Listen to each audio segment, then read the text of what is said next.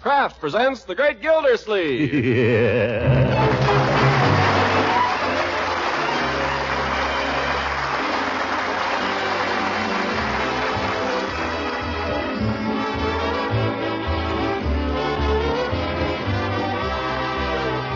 The Kraft Cheese Company, makers of Parkay margarine and a complete line of famous quality food products, presents Harold Peary as the Great Gildersleeve. Kraft brings you the Great Gildersleeve every week at this time, written by John Whedon and Sam Moore, with music by Claude Sweeten.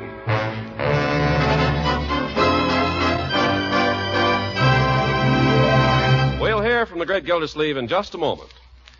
About this time of the year, we like to give you June brides to be a little special advice. Not advice on how to make your first biscuits, but advice on how to serve them so they'll taste extra good. Just try spreading them with delicious Parkay margarine. Your meals are sure to get off to a grand start when you choose a spread that's as delicious and satisfying as Parkay. And you'll be getting off to a right start on your food budget, too, because Parkay margarine is downright economical. Remember, too, that Parkay is tops in food energy value, and every pound contains 9,000 units of important vitamin A. So do as millions of homemakers do. Buy and serve delicious, nourishing Parkay. P-A-R-K-A-Y, Parkay margarine made by Kraft. Millions prefer Parkay to any other brand.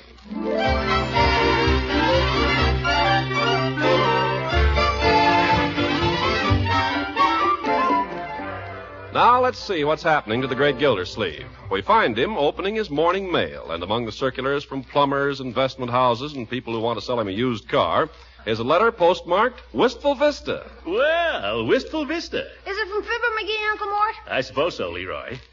Wonder what the little squirt wants now. Well, Is it from Mr. McGee? no. Listen to this, children. Who's it from? The First National Bank of Wistful Vista. Uh-oh. You're wrong, Leroy. Listen, dear Mr. Gildersleeve, upon checking over our records, we find you have an unclaimed savings account with us, which we've taken the liberty of transferring to your bank in Summerfield. The amount with interest to date is $209.14. We're red. Yay! I can't believe it. What's going on in here? We're rich, Birdie. Uncle Mort found some money. My, my, this family gets crazier every day. Stop it, stop it. Now, we're not rich, Birdie. We never will be. You don't have to tell me, Mr. Gillsleeve. I gave up long ago. But apparently I have come into a little money. Where are you going, huh? I'm going to call Mr. Todd at the bank. Going to ask him if the money's come in. This might be McGee's idea of a joke, you know. Some joke. No worse than some of the. Oh, hello, Mr. Todd there. Mr. Gildersleeve. But if it is a gag, I'll take that little twerp McGee and squeeze $219.14 right out of his ears. hello, Mr. Todd. I want to find out if you've received a deposit from my account this morning from. You did? That's right, $209.14. Thank you. Oh, Stop it, you'll shake down the house. What are you going to buy with all that money, Unc? Well, I'm going to think it over. And in order to think, I need to be alone. And to be alone, I need a cigar.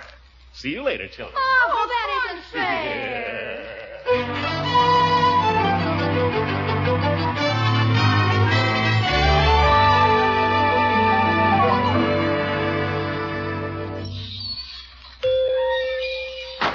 Well, hello, Mr. Gildersleeve. What can I do for you this morning? I'll tell you, Peavey. Give me a thousand fifty cent cigars. What's that? Uh, Oh. Mm-hmm. Shall I put them in a bag, or will you just smoke them here? Only joking, Peavey. So is I. But it just so happens I could almost buy a thousand cigars today. Had a little windfall this morning. Savings account I'd forgotten all about. You don't say. Yep. I've never been able to forget a penny. It must be a wonderful feeling. Great. But I'm not blowing it all on cigars, Peavey. Let me have three of those three for halves. Yes, sir. That'll be 62 cents. 62 cents for 50 cents worth of cigars. That's inflation, Peavey. Well, no, I wouldn't say that. it's all taxes. Oh, well, so long as I'm rich. I, uh, I wonder if you've considered investing this windfall, Mr. Gildersleeve. Investing it? Well, I hadn't thought of that, but it might be a good idea. Well, you could spend it, only most of the stuff you buy these days is junk. But after the war. You're right. They're going to be reconverting pretty soon. No, I wouldn't say that. The war isn't over. Well, it's all over in Europe. If I take this money and put it into some company with good reconversion program, maybe I can get in on the ground floor or something nice and solid. Television, maybe.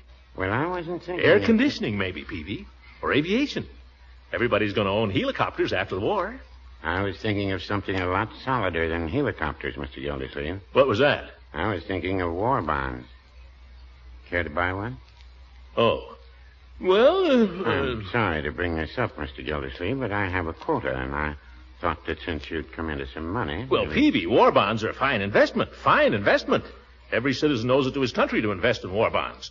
It helps finance the war, and it helps control inflation. That's what I say. Yes, sir. Put me down for a $25 bond. That'll be 1875. Yes, sir. Glad to do my bit, Peavey. At the same time, a man's got to think of his future. So I'll just look around for some industrial investments, too. Reconversion is important, Peavey. They need capital. Who? Oh, various manufacturers. I'll find somebody that needs money, don't worry. Well, I don't doubt you can do that. Say, what am I worrying about? I got a financier right in my front yard. I'll bet Rumson Bullard knows plenty about investments. What makes you think so? Because he's retired. A fellow that retires has to have his money invested, and he has to watch it like a hawk, Peavey. If he loses it, he's got to go back to work. Dear me. Yes, sir. Should have thought of that in the first place. I'll go see Rumson Bullard right away. Uh, what about the bonds, Mr. Gildersleeve? I'll pay you later.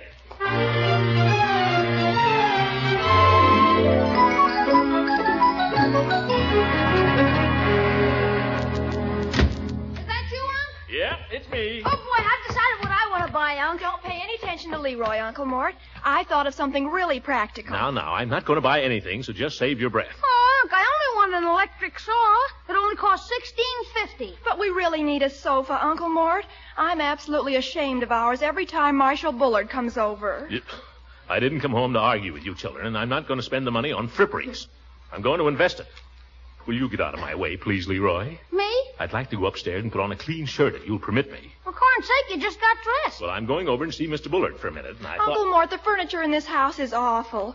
The couch isn't fit to sit on alone, even. The discussion is closed, Marjorie. Well, I don't see why you should change your shirt just to go to see Mr. Bullard. You ought to see what he's got on. I'm not changing it for him, Leroy. I just didn't notice when I dressed this morning how worn this shirt was. What's Bullard got on? An old pair of pants like the ones you gave the clothing drive. And a dirty old sweater. Hmm. Is he doing some work in the yard? No, he's just knocking a golf ball around out behind his house. Golf ball? Well, that ought to be easy. I guess I won't change my clothes after all.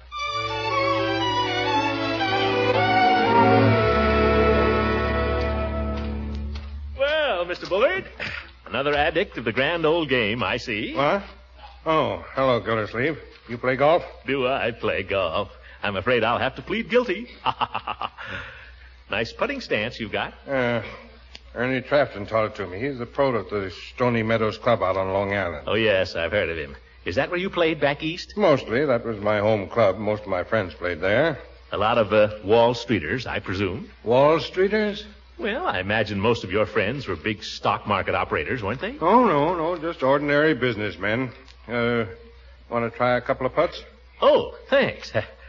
I guess you've played the market in your time, haven't you, Mr. Bullard? Well, I fooled with it a little, but it's bad medicine. Go on, hit the ball. The hole is that tin right over there. Well, that's pretty clever. That little tin. Oh, yes, sir. Uh, but as I was saying, I'm thinking of reinvesting some of my investments. Uh, some of my funds, Mr. Bullard, and I just thought that maybe as an old market manipulator, you might know a little inside information you'd be willing to pass along to a neighbor. Well, I'll give you a tip. I'm listening, Mr. Bullard. Put your money in war bonds. And if you're not going to hit the ball, give me back my putter. Uh, uh, well, I might as well putt. Hmm. Not bad. Wait, I'll drop another ball and see if I can beat you. There. Now. We're about even. No, I think you're a little better. Uh, you were with United Refrigeration, weren't you, Mr. Bullard? With them for 20 years, yes. I was wondering, what would you think of United Refrigeration as an investment?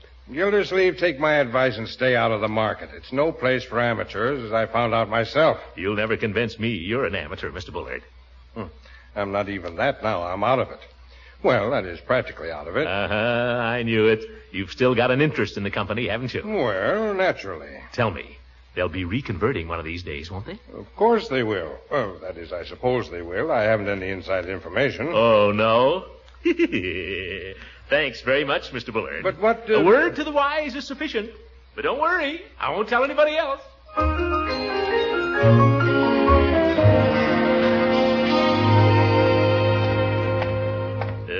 Millionaires are all alike. Cagey, trying to pretend he wasn't in the market. Just afraid some more smart people will get in there, too. Make it tough for him. But he certainly gave himself away. Hee hee. Yes, sir. Just grabbed myself a few shares of that United. Leroy! Confound that kid. I don't know how many times I've told him not to leave that bicycle on the side. Call me, Unc. Get this bicycle off the walk. It almost broke my neck just now. Sorry, Unc. I'm tired of hearing you say that, Leroy. Well, there goes my electric saw. Darn the luck.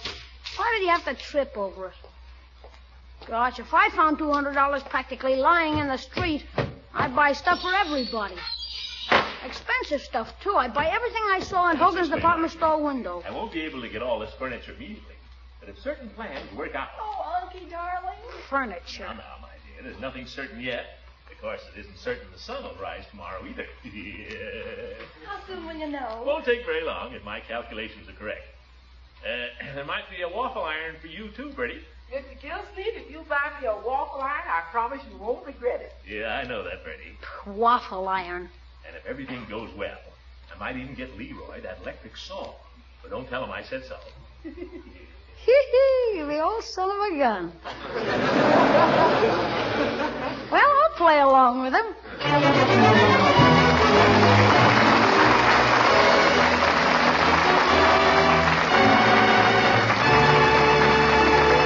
Great Gildersleeve will be with us again in just a few seconds. And now a brief word picture of an appetite-arousing meal. In the kitchen, Mom has whipped up a big batch of pancakes. She flips them hot off the griddle. Johnny grabs one after another of those golden brown griddle cakes and stacks them on his plate. Pass the Parkay margarine, please, he shouts, because that's the way they taste extra good. And Johnny's right as can be. Pancakes, waffles, hot breakfast toast, and just plain slices of bread all taste extra good when you spread them with delicious Parkay margarine. In fact, millions prefer Parkay to any other brand. Millions like Parkay's fresh, delicate flavor. They like the energy it helps to provide so economically. And they like the fact that every pound of Parkay provides 9,000 units of vitamin A. So do as millions of homemakers do. Buy and serve delicious, nourishing Parkay. P-A-R-K-A-Y, Parkay margarine, made by Kraft.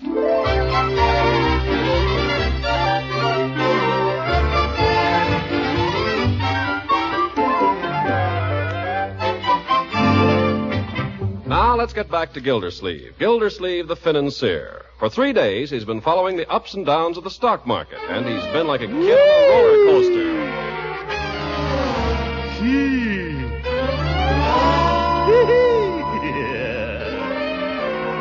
Fortunately, there have been more ups than downs. Today, the 50 shares of United Refrigeration, which he bought at four and a quarter, have skyrocketed to seven. Seven and a half. Seven and a half. Now, when Gildersleeve gets hold of a good thing, he's not a man to keep it to himself.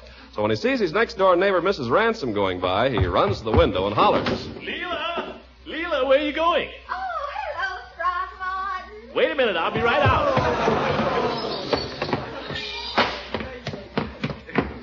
Wait up, Leila. What's your hurry? I'm on my way to the lending library. Miss Trimble just phoned me. I'm next on the list for Forever Amber. Well, forget it, Leila. Come on up on the porch and sit down. Oh, I can't. Oh, come on. I can't. I've been waiting too much for this book. I- I'll save it for you when I've finished, if you like. Oh, I'm too busy to do any reading these days. Well, if you're so busy, what are you doing home in the middle of the afternoon? Why aren't you down at the water department? I'm letting my secretary handle that. I have more important things to attend to. Come on. Sit down for a minute, Leila. Hmm, you're being very mysterious, Throckmorton. Well, I don't tell everything I know. But you'd better be nice to me just the same. Now, why should I be nice to you? What have you ever done to deserve it? Nothing. I just thought you might like to know that I came into a little money recently, that's all. Let's sit right down here on the grass. Throckmorton, stop it. Why should I? Please, there's a little boy coming. Oh, him. Hello, Craig. Where's Leroy? I want him to play with me. Leroy? He's in the house somewhere, I guess. Uh, why don't you go ring the bell? Who's she? Oh. well, this is Mrs. Ransom. She lives next door, Craig. Leila, this is Craig Bullard. Uh, how do you do, Craig? My, you're a fine big boy, aren't you? Where's Mr. Ransom? well, Mr. Ransom is no longer with us. Now, if you want Leroy, just go ring the bell. I want him to come out. I want him to play with me. Well, just go ring the bell and he'll come out. What are you doing? We're sitting on the grass. what does it look like we're doing? I want Leroy to come out and play with me. All right, go get him. We're busy here. Gee, God. Uh, just go right up to the door, honey. Don't be afraid. Leroy! Oh, Leroy! Leroy isn't here! He's there, all right, Craig. Just walk in. Uh, now, where were we? Oh, yes. Throckmorton, uh, you were telling me about some money or something. You stick with me, Leila, and you'll wear diamonds. Oh, I couldn't possibly accept a diamond from a man I'm not even engaged to. Well, I didn't mean that literally. Oh. But I can tell you how to make some money, Leila, if you'd like to. Would I have? Promise you'll be nice to me? We'll see. Well, come here. What for? I want to whisper in your ear. Whisper what? A secret. What's the secret? United Refrigeration. What?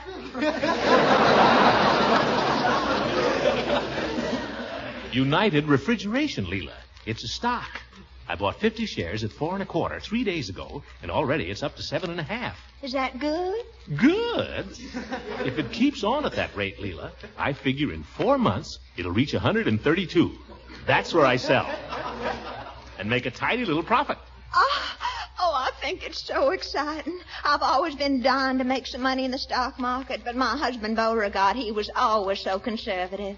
All he left me was some little old municipal bonds. You know what I'm going to do. I'm going to sell them and buy what you've got. And you know what I'm going to do, Leila? I'm going to collect a little broker's fee right now. Throckmorton, let go. Let go, silly. Here comes Judge Hooker. huh? Well, a little gambling on the green, huh? You mind your own business, Horace.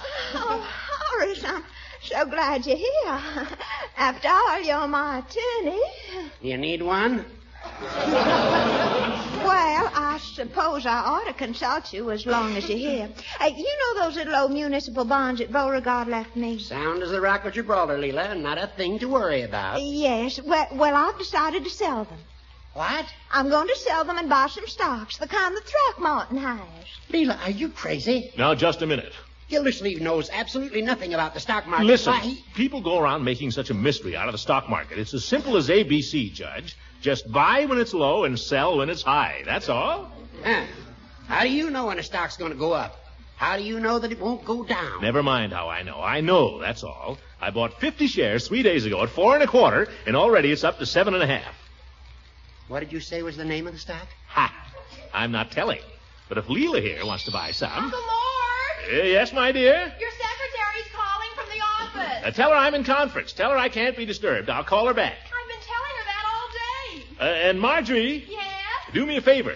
Call up Mr. Todd at the bank again and ask him the latest quotation on United Refrigeration. Ask him what? Just ask him how my stock is doing. He'll understand. I've been in touch with him all day. The market's closed by now. Oh, ask him what time the market opens in the morning. Now, Leila, my advice to you is let the stock market strictly alone. Leila is taking her advice from me, Judge. Well, come to think of it, Horace may be right, Throckmorton. Down home, everybody said poor old Colonel DeLacy never would have shot himself if it hadn't been for the market. And of course, they're all as poor as church mice now, the DeLacies. Why, I know of a case right here in town. Man bought stocks on margin, got caught short, wound up committing forgery. In the pen right now. And his family's on relief. I hope you haven't bought this stock on margin, Gildy. Uh, he. uh, what did he say, Marjorie? Did you get him? What did he say? He said the stock is at nine. Nine. Hee-hee. That's up a point and a half. What did I tell you? And the market opens at five. Five o'clock in the morning? That's impossible. It opens at nine. Oh, that's right. It's the market that opens at nine. He said the stock has dropped to five. Five? Oh, what do you think, Judge? Do you think I ought to sell? There's not a thing you can do till tomorrow, Gildy. My advice to you is to sleep on it. Sleep on it? How am I going to sleep on a thing like that? I won't sleep a wink, Now, Judge. Gildy, I wouldn't worry. I have a very simple rule that I follow in these cases. Oh? What's that? Buy when it's low and sell when it's high. Oh, go on and laugh, you old go.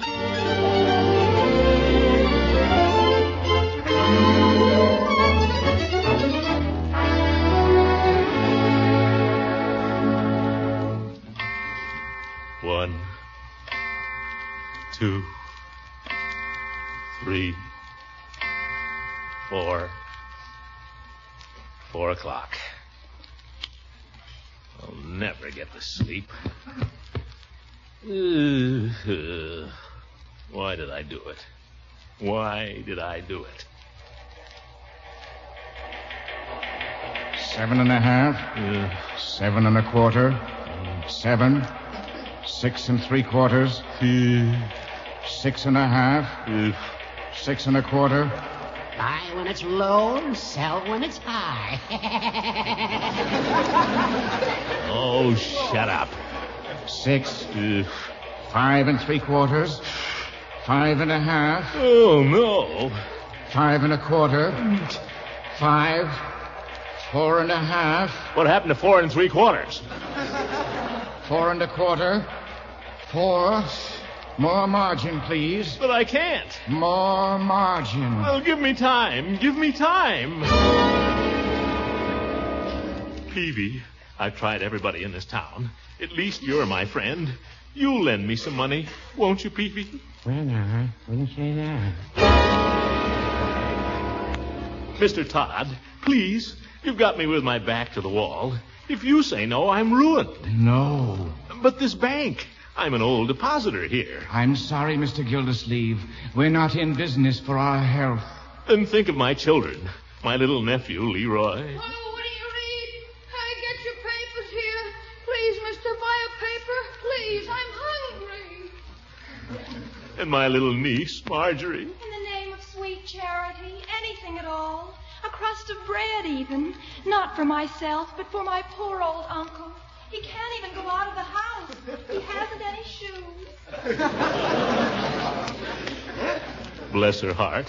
And then there's good old Birdie. Nobody knows the trouble I've seen. Nobody How about it, Mr. Todd? Are you going to let these children starve? Are you going to let them sell Birdie down the river? Sorry, Mr. Gildersleeve. We'll have to close you out. Holy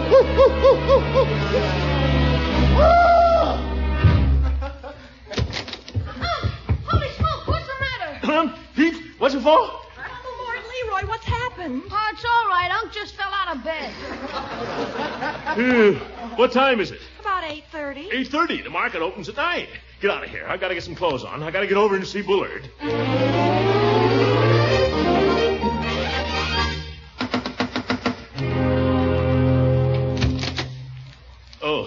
Hello, Craig. Is your daddy in? Where's Leroy? Leroy is at home. Is your papa in? I want Leroy to come over and play with me. Look, Craig, I'm a little in a bit of a hurry. Yes, it's important. Is your father home? I want to see him. What do you want to see him about? Never mind what I want to see him about. Just go tell him I'm here. Someone at the door, Craig? A man. Yes. Oh, hello there, Gildersleeve. Run along, Craig, and go and finish your breakfast. Mr. Bullard, I don't know if you heard, but United Refrigeration's dropped two points. Well, Well, I thought you'd want to know. I mean, we got to do something. I mean, you've got influence. If you threw your support behind it when the market opens. what business is it of mine? Well, you own stock in it, don't you? United Refrigeration? I told you I got rid of all of that two years ago. Hmm. As a matter of fact, I got rid of all my stock two years ago. But I thought. Yes, sir. I sold out all my holdings and I put in every nickel I had into government securities. Government securities? War bonds. And between you and me, I've never regretted it. No blood pressure when the market drops, no more indigestion, and I can sleep like a baby at night. Well, that's more than I can say. After all, I don't know where you're going to find a smarter investment, but uh, then I don't need to tell you. Oh, no. no, indeed. Not us smart fellows. well, thanks for the tip, Mr. Bullard. I mean, well, thanks anyway. Got to be going now. Just thought I'd drop in and say hello. Uh, look out there. I told Craig not to leave that there. Everywhere I go, bicycles.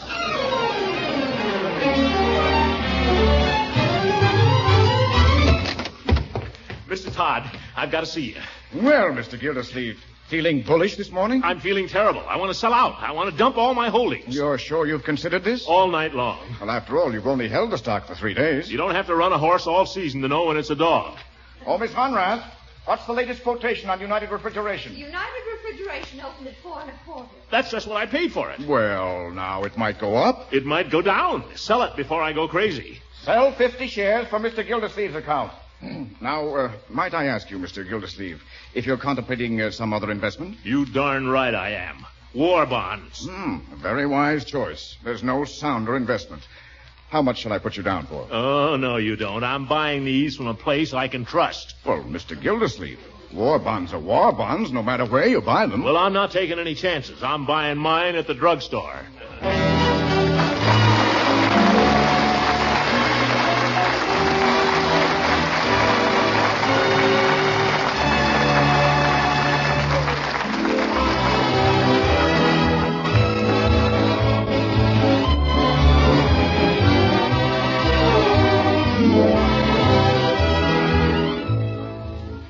Only that, Peavey, it's your patriotic duty. That's what I say. This war isn't over yet. No, sir. We still got the Japs to beat. That's what I say. You hear all this talk about post-war conversion. I bet you don't hear any of that on Okinawa. That's what I say. Any man who doesn't put every cent he's got into war bonds, he's not only unpatriotic, but he's a darn fool. Because war bonds are the best investment in this world, bar none. So don't let anybody come in here and tell you you ought to ease off on the war bonds and put your money into something else. He doesn't know what he's talking about. Well, That's what I say. very well. And if I ever do it again, Peavey, I hope you'll give me a good swift kick in the shins. Well, no, I wouldn't do that. I mean it, Peavey. Well, goodbye, Peavey. Goodbye, Mr. Gildersleeve. The bonds will be mailed to you. And thanks for the order. Not at all, Peavey. Thank you. The great Gildersleeve. Good name for him. What a character. Well, it takes all kinds, doesn't it? That's what I say. I heard that, Peavey. Good night, everybody.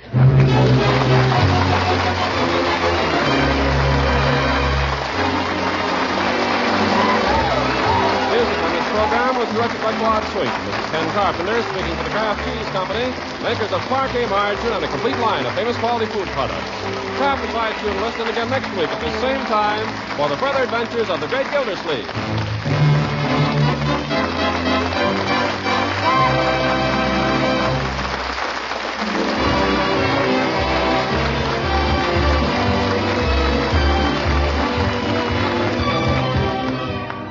And now here's special news about a really different kind of cheese food. A cheese food treat you can serve in a hundred or more delightful ways.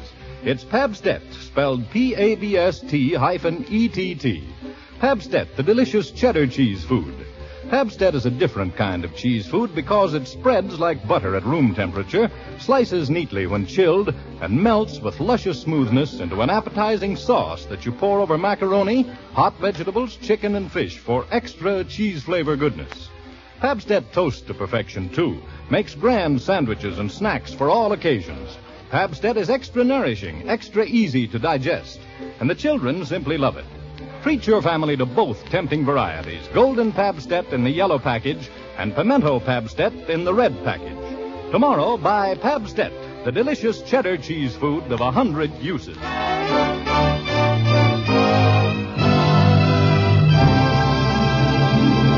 The National Broadcasting Company.